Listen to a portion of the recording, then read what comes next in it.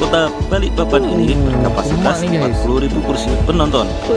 Stadion ini biasanya digunakan untuk markas klub Persiba Balikpapan. Wow. Ini memang khas untuk bola sepak eh.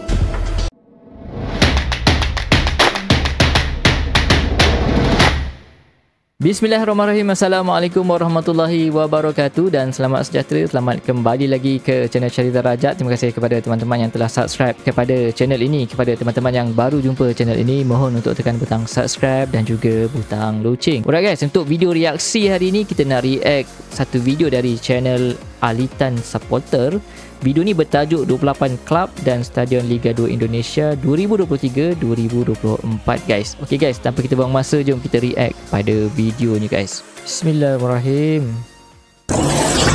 Guys.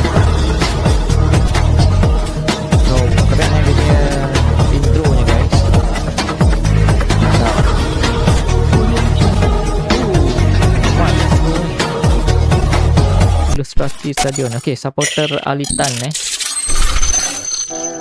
Ataupun Alitan Assalamualaikum supporter. warahmatullahi wabarakatuh. Berjumpa lagi di channel Alitan Supporter. Okey. Channel yang akan mempersembahkan sepak bola lokal maupun mancanegara. Hmm.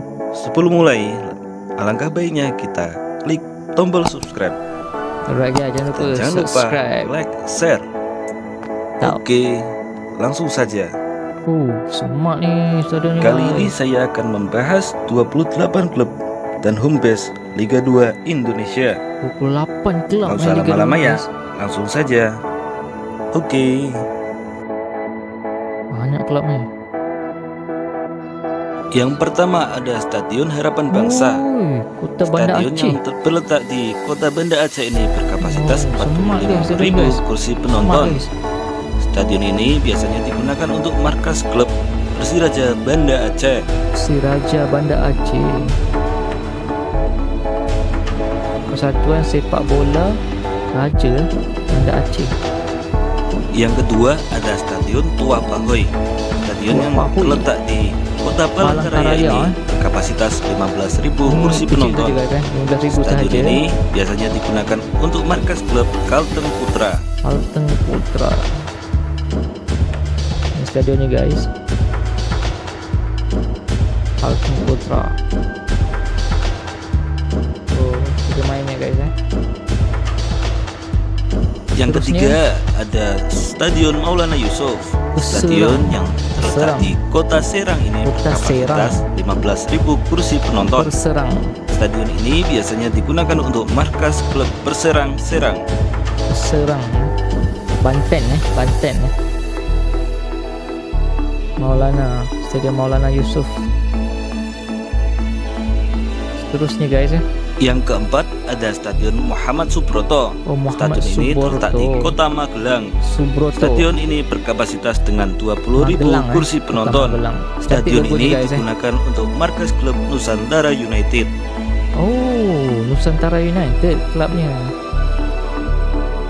20,000 kursi saja guys. Compact.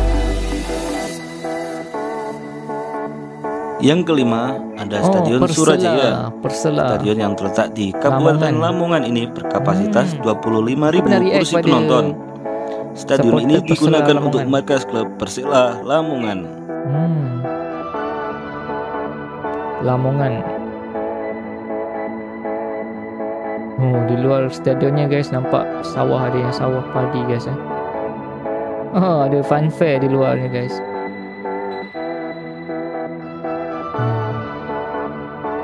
Seterusnya Yang keenam ada Stadion PSMS Teladan. Medan. Stadion Oh, ini ini pun terkenal PSMS Medan.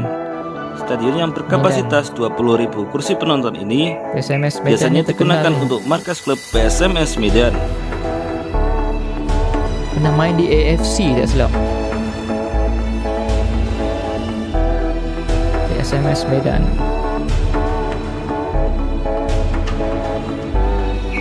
Yang ketujuh oh, ada Stadion Batakan. Balikpapan Stadion yang terletak di kota Balikpapan ini Oh, berkapasitas semak ni, guys. 40.000 kursi penonton. Stadion ini biasanya digunakan untuk markas klub Persiba Balikpapan. Wow Ini memang khas untuk bola sepak eh Di Batakan Stadion Batakan Antara yang terbesar juga eh untuk Liga 2.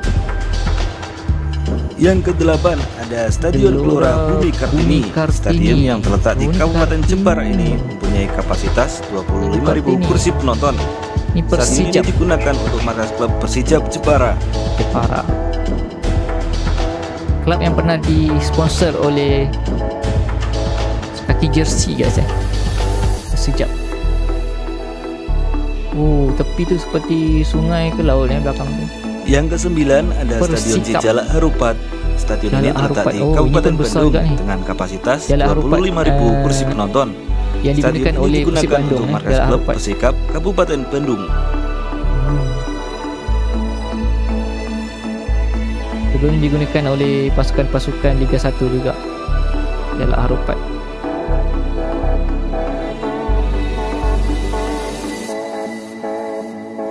Di urutan ke-10 Joyo ada Stadion Kusumo, Joyo eh. Kusumo. Stadion yang terletak di Kabupaten Pati, eh. Pati ini mempunyai Oh, kapasitas padangnya, guys. 12.000 kursi penonton.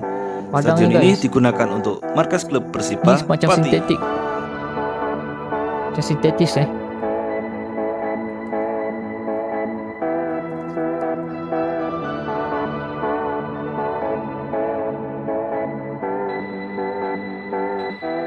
Dia punya tribun utama guys.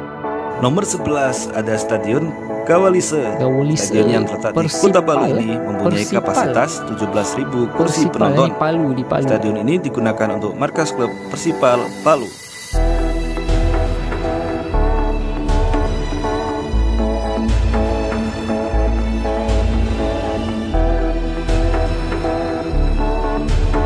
Di urutan ke-12 ada Stadion Lukas NMB. Guys. Stadion yang terletak di Kabupaten. Jayapura ini ni. mempunyai kapasitas Persipura Jayapura. 40.263 kursi penonton. Stadion ini digunakan untuk markas klub Persipura Jayapura. emak guys kan. Uh.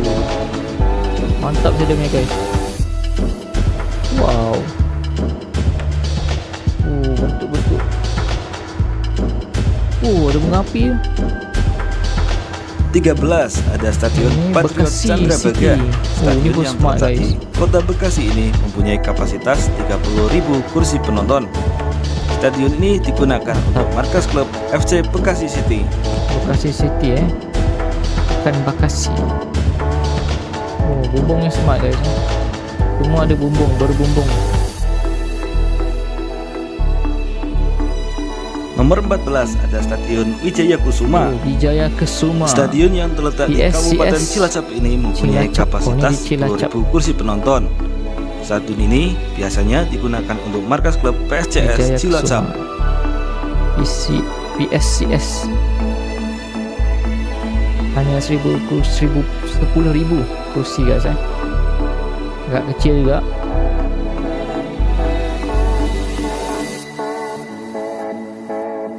Seterusnya Di urutan yang ke-15 ada Stadion Baharudin Siregar. Baharudin Stadion yang Siregar. terletak di Kabupaten Deli Serdang ini mempunyai kapasitas Deli Serdang 15.000 nama kursi tempatnya, penonton. Stadion ni ini digunakan untuk markas klub PSDS Deli Serdang. Deli Serdang tu nama tempatnya guys eh. Oh, okey. Oh, di luarnya sawah-sawah padi hijau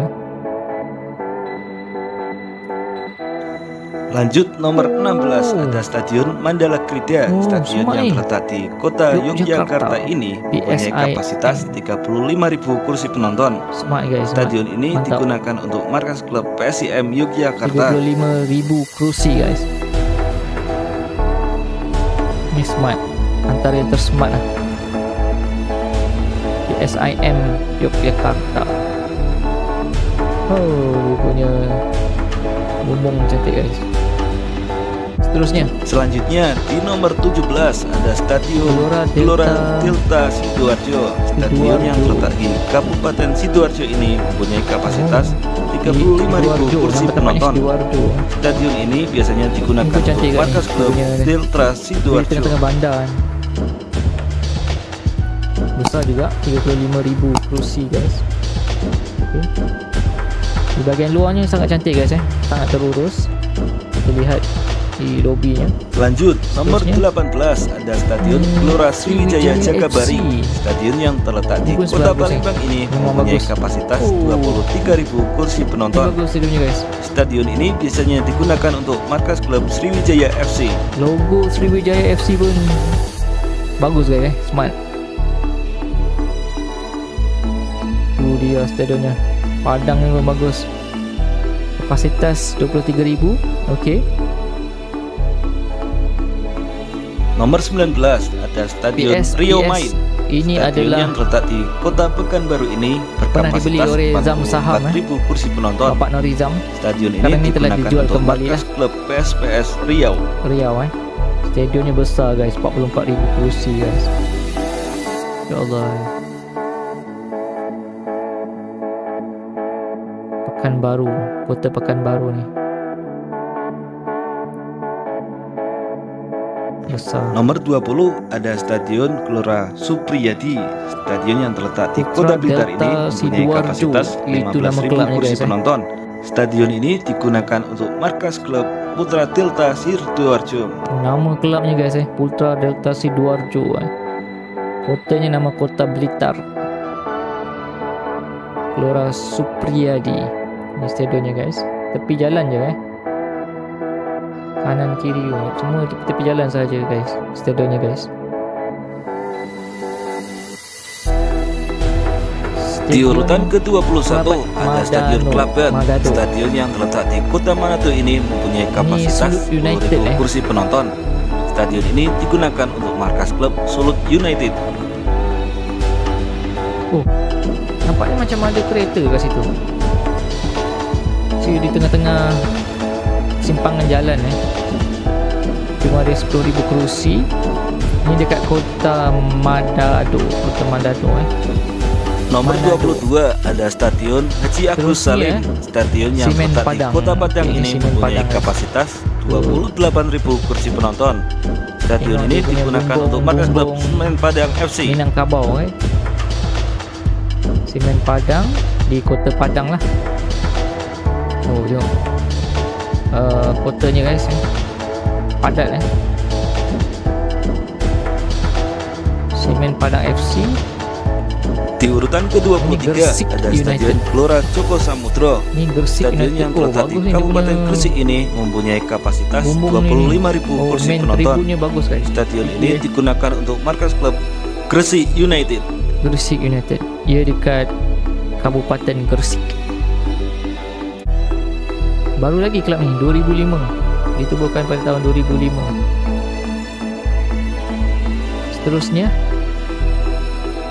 ini nampak daripada jauh Nomor 24 ada Stadion Trisanja. ini persekat Stadion yang terletak di Kabupaten Tegal ini mempunyai kapasitas 10.000 kursi penonton. 10.000 saja Stadion ini biasanya digunakan untuk markas klub Persekat Kabupaten Tegal. persekat Tegal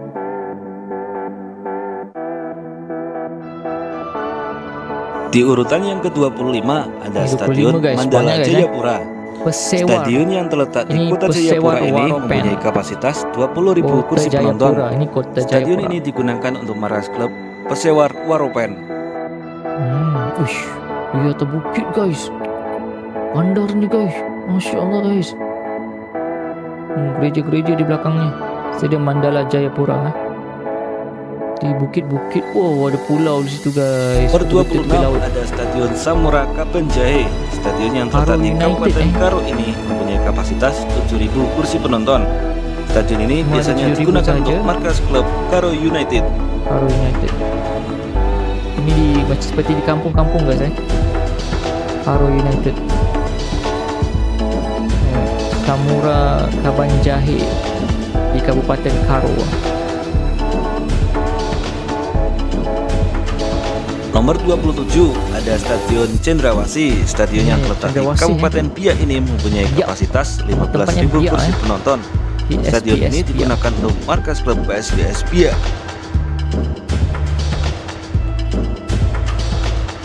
15,000 kerusi besar juga ni. Yang ke-28 ada Stadion eh. Stadion yang terletak di Kota Cimahi ini mempunyai 12.000 kapasitas kursi sahaja. 12.000 kursi penonton. Kota Cimahi Stadion eh. ini digunakan untuk markas klub PSKC Cimahi. SKC Cimahi nama tempatnya Cimahi eh. stadionnya tak berapa besar Eh, itulah. Ke-28 itu klub dia guys eh dan home base-nya. 28 klub Terus ikuti channel kami ya. Jangan Banyak, lupa guys. share, like, komen dan subscribe. Wawal mafiq illah kuamitorik. Wassalamualaikum warahmatullahi wabarakatuh. Assalamualaikum warahmatullahi Alright guys eh itu dia 28 kelab untuk Liga 2 eh Huh, banyak kelab guys tu Di Malaysia Ataupun Liga di Malaysia sudah tidak ada lagi Liga Premier Ataupun Liga Perdana. Dan sekarang ni cuma ada Liga 1 sahaja Iaitu Liga Super lah. Dan Liga kedua yang sebelumnya ada Liga Premier Digantikan dengan Piala MFL lah. Ha, Cumanya kita tak ada lagi Liga 2 guys eh. Kita kekurangan kelab ha, Yang mempunyai lesen untuk bermain Di peringkat tertinggi sekarang ni. Kalau kita lihat di Indonesia ada 28 kelab di Liga 2 sahaja guys eh. Banyak. 28 kelab tersebut bermain di setiap stadion yang berlainan guys. Mantap guys eh. Okay guys, apa pendapat teman-teman berkenaan video tadi guys eh? Huh, teman-teman biasa ke stadion yang mana satu guys? Ha, boleh tuliskan di kolom komentar di bawah guys. Okay guys, jangan lupa untuk like video ni. Kepada teman-teman yang masih lagi belum subscribe, mohon untuk tekan butang subscribe dan juga butang loceng guys. Kita jumpa dalam video reaksi akan datang. Assalamualaikum.